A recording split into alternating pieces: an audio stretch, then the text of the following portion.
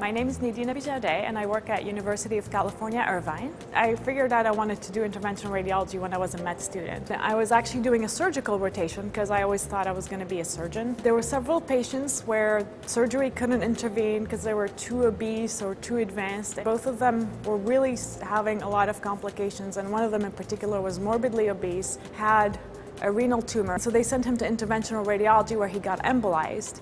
And no was not a curative treatment, but it was palliative, and for like the remainder of his life, he was able to have a quality of life.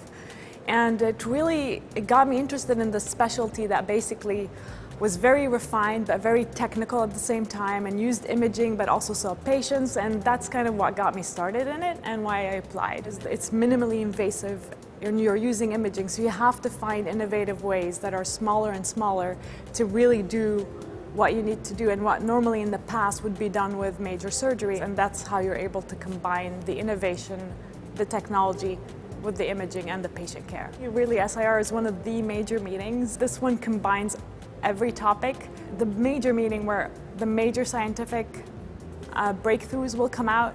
Um, there's a lot of industry and a lot of colleagues, so it's really both networking and scientific SIR has been great. I mean, it's, it's everything from SIR Connect where people just can log on and ask a question and anybody from the community, including like the best and the greatest can answer your question, to, you know, supporting JVIR, supporting the foundation which allows us to do research and innovate.